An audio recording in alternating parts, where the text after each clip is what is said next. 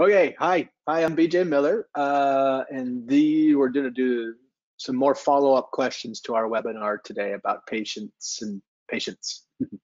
um, so over to you, Sonia, for the next question. Okay, this is one of the questions that we weren't able to get to. Have you seen any positives regarding patient care and patient experiences during the pandemic, like having FaceTime with a loved one in bed, et cetera, once we're on the other side? In other words, have our current restrictions given us any strategies that could be helpful going forward? Maybe I'm reaching for the lemonade, but wondering if you felt any such opportunities. Um, let me see, does it question like opportunities through the Zoom calls or the GoToMeeting through the technology or just in, or, or in general? Was there, can you, read, can in you read the question? Yeah. Okay.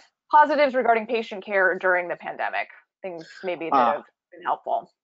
Yeah, so okay, great. Thank you for the question. Yeah, and I appreciate that. Yes, let's let's make some lemonade. We gotta we gotta suck some lemons. We might as well have some lemonade here. So yes, I do think uh, I think we should be asking this question again and again in the coming months because we're still in the in the mix here. And I don't I personally am not sure where all the lessons are just yet.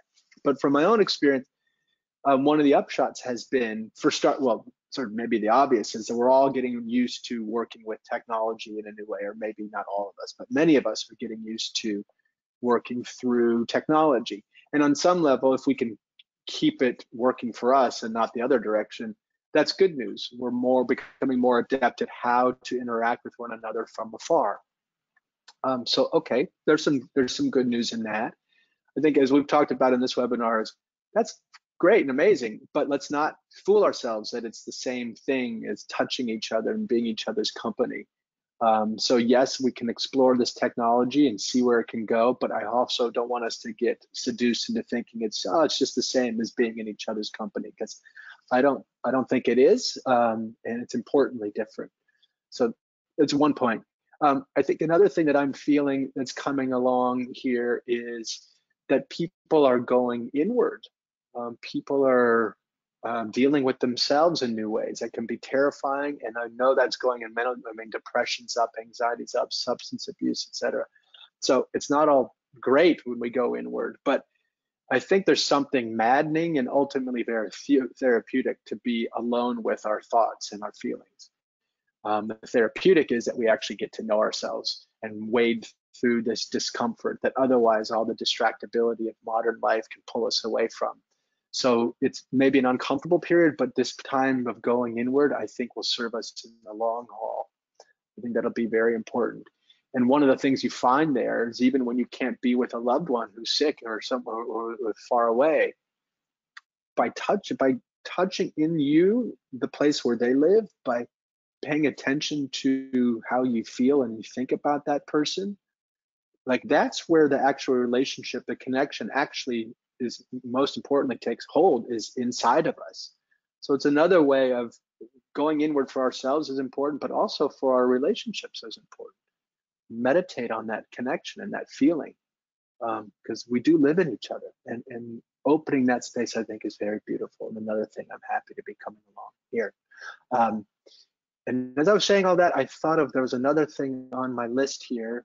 Oh, well, I think another silver lining may be that we're realizing the shortcomings of our health system. We're realizing the shortcoming of a lot of our systems and how unprepared we were for a lot of this. And so another silver lining perhaps would be that we, if we, if we really, I hope to God that we, as we come out the backside of this pandemic, when we do, that we don't try to snap back into the old ways. In fact, because you never can go back really. And we should be learning a lot from this in terms of our systems. And the hope here would be that healthcare will look and feel different and be more responsive to us as people um, if we push it to do so. So uh, with crisis comes important change if we let it and push it and push for it. Um, so there you go. There's my there's an answer for now.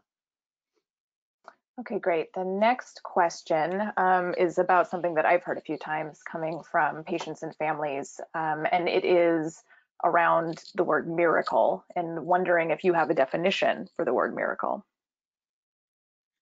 Oh, a cool question. Uh, do I have a definition for the word miracle? I, I, I, hmm, I suppose it would be something happening that seems unfathomable and unlikely, and one that wouldn't feel safe to predict, um, but happens anyway in ways that I just can't see and just can't understand. So it's something in a way unfathomable or beyond my comprehension that happens nonetheless.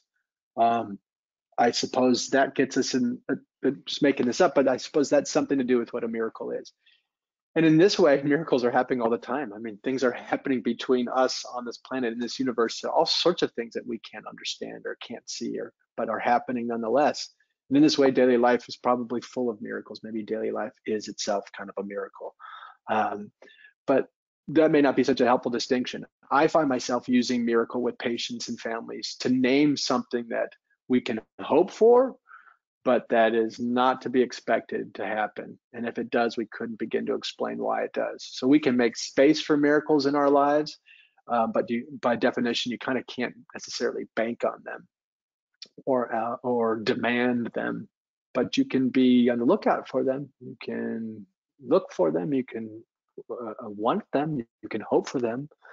But I do think it's wrapping it into this idea of hope hope can be a very powerful force if it's realistic. It can pull you along in some ways. But if you find yourself hoping for, almost planning for miracles, uh, then you got to be very careful because that you're not disappointed if that miracle doesn't happen. I think it's very important to use that word. Okay, Mr. Mr. Smith, let's hope for a miracle that they'll come up with that your your advanced cancer will spontaneously cure itself. I'm going to hope for that too. But calling it a miracle helps us know that it's not likely to happen. And if it does, wouldn't that be amazing? So there's that, that's what I have to say about miracles. The next question is actually about the book. And this person asks, is there a way to request a book study partner, which the book seems at once daunting and necessary? Yeah, well, the book was written, A Beginner's Guide to the End. So Shoshana Berger and Sonia Dolan, and then the three of us made this book happen. Um, so yeah, it is. But the thing is, it's really meant as a reference guide. Uh, very few people are able to, or wanting to, or need to, or probably should sit and try to read it cover to cover. Rather, you know, skimming it, familiarizing yourself with the table of contents, and dipping into the specific things that you need uh, as you go along. So I think that, as it goes with this subject of dealing with serious illness and death, there's only so much any of us can take at any one time. So, uh, you know, you open the book and close it too. Uh, get what you need and and put it down and ruminate and think about it, talk about it. Let it provoke thought, not not not be the thought. Um, so that's one sort of approach to this book. It's like a reference guide almost. Um, you know, it would be a great, it's great fodder for like a death cafe or for friends like book book clubs. It's a wonderful book. We've heard from folks who use it in, a, in their book club, and then they have this built-in community to discuss any one of the issues that come up as they come up. That can be very useful. You can organize that yourself. Um, increasingly, though, we do hope our webinars become a, if we can figure out a way for uh, those who are participating in our webinars, like you, to interact with each other um, there may be also in this community that we're kind of slowly uh, building together here soon enough may be ways for you to inquire of other folks listening in and maybe you'll find a buddy that way.